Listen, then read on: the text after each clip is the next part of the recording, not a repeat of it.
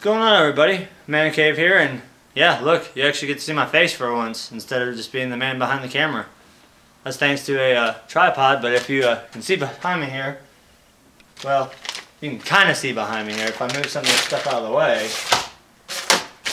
You see that we have the Axial SCX10 G6 kit. As I promised, I got one, so I'm going to be doing a build thread on it. We all know I'm not going to get super in depth about this kit because I know a lot of you have already seen unboxing videos and uh, I'm just not going to go there. So we know what comes in it. The uh, pinched body, the cage, the light bar like an Exo style, um, Walker Evans with treps, icon shocks, all that good stuff.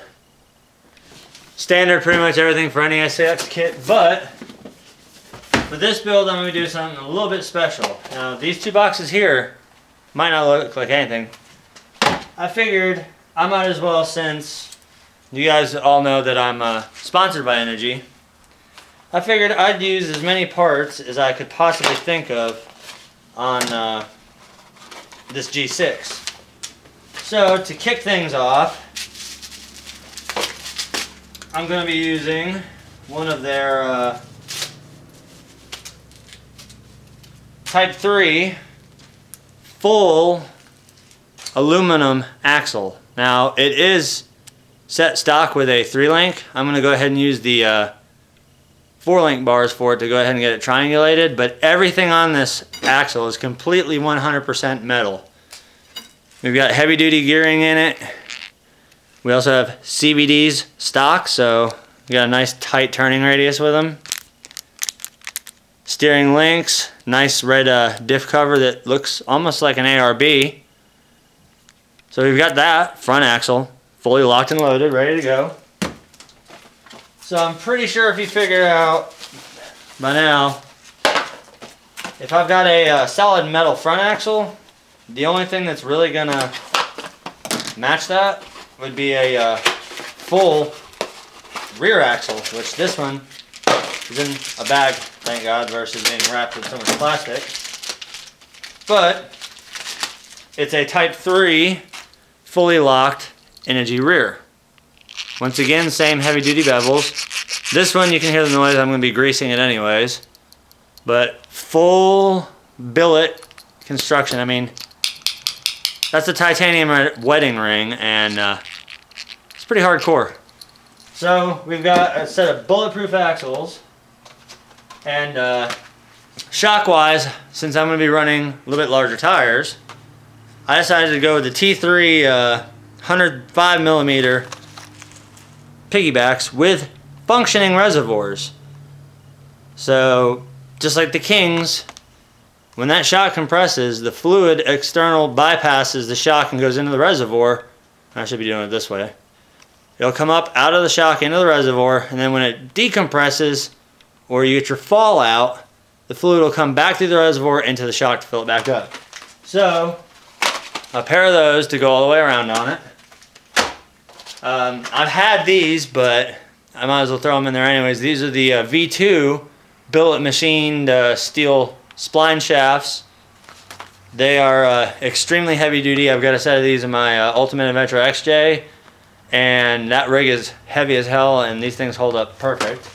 So we got shafts covered.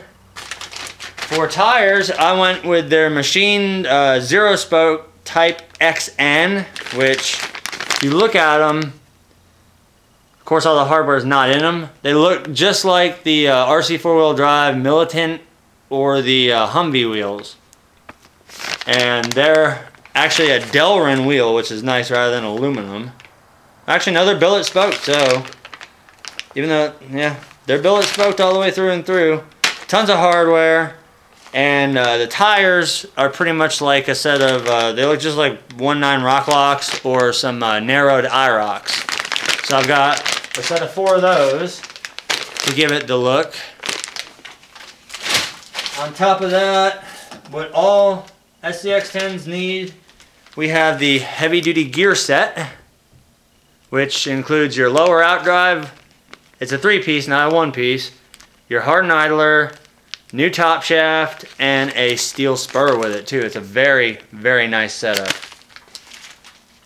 And then, to do away with the stock EXO style light bar, I got their realistic T5 adjustable spotlight bar with six LEDs. So, nice red light bar, LEDs, just pop right into the back of it, and it's even got the mounting brackets for it too, so that's epic.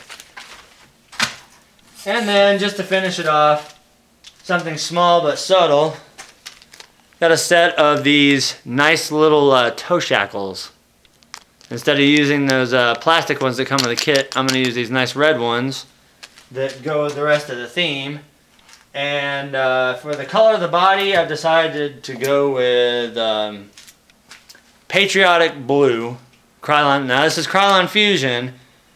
It bonds to plastic. You need no sanding, no priming, but who uh, sands a Lexan body or primes a Lexan body for that matter? This paint is about the only paint that I'll use other than automotive grade paint.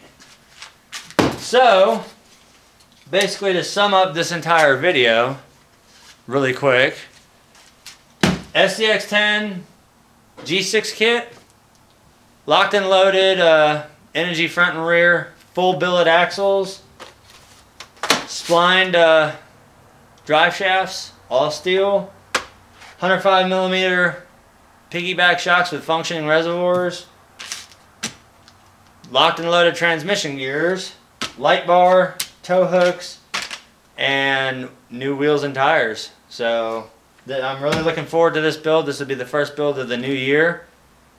And um,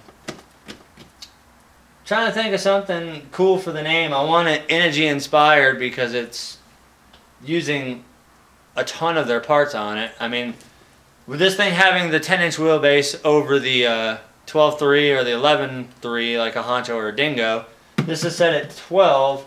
They don't have the link kits yet for the uh, G6s. Now I could be wrong, but the last time I checked, they don't have them.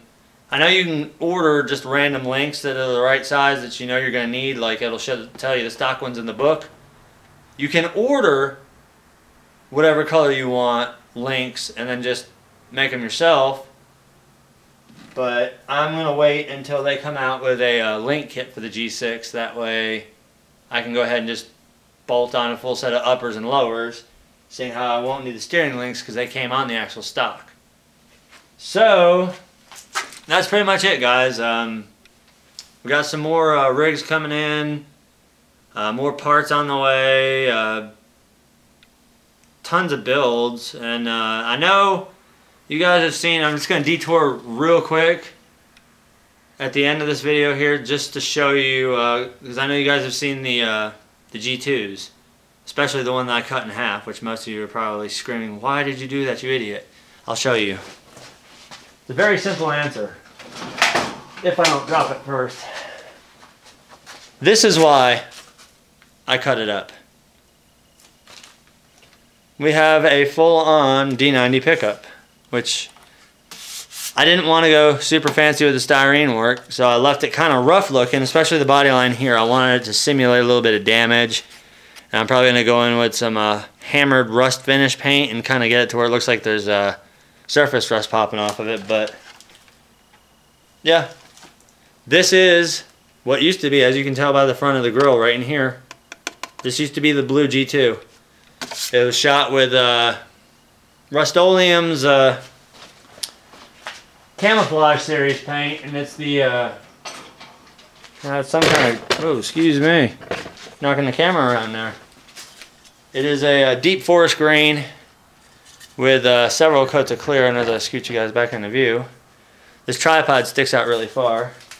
Shot it with two coats of uh, deep forest green and then three coats of clear, so it turned out pretty good. But as I said, really looking forward to getting this started off.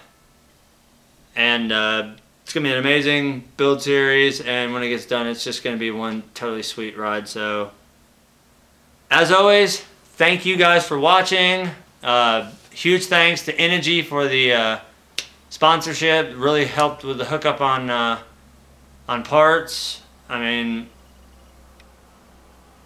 you guys really have uh, been my driving force ever since I started the channel.